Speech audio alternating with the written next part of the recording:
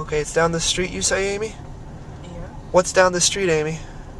The Extreme Makeover Home Edition. In our area, yeah. They were, they were here. Ty was yelling, and everybody was yelling, and there was a lot of screaming and stuff. So, it kind of looks. Does this look at the projects? I'm not No, sure. these are these could be nice houses. Well, it's a nice painted house. It is really nice. bold blue. But oh, I think I see. Oh, there it is. Oh, there it is. And there's a people there. Of course. It's not that big. All right, don't. Oh, film it's that not that. Yeah, I know. I don't want to. It's not that. It's not that exciting. It just looks like it's been there for a while. a little disappointed. Yeah. Okay. Where did they stand for moving the bus? Yeah, that- Oh, look, a little park. that's probably where they stood. That's, they probably put a lot of stuff over there. Uh-huh. So that was the house from one of the episodes of Extreme Home Makeover in the Gun um, Square. Gun Square. What? That's what the name of that street was. Gun Square. Yeah.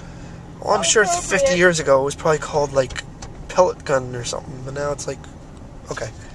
So that was um the house. How how was it, Amy? Disappointing. Just looks like a nicer version of all these houses. And what's this Springfield College? Take a left. Taking a left because that looks That's not. That's. Okay. All right. that is no idea where we are. So again, how was that? A little bit disappointing. Yeah.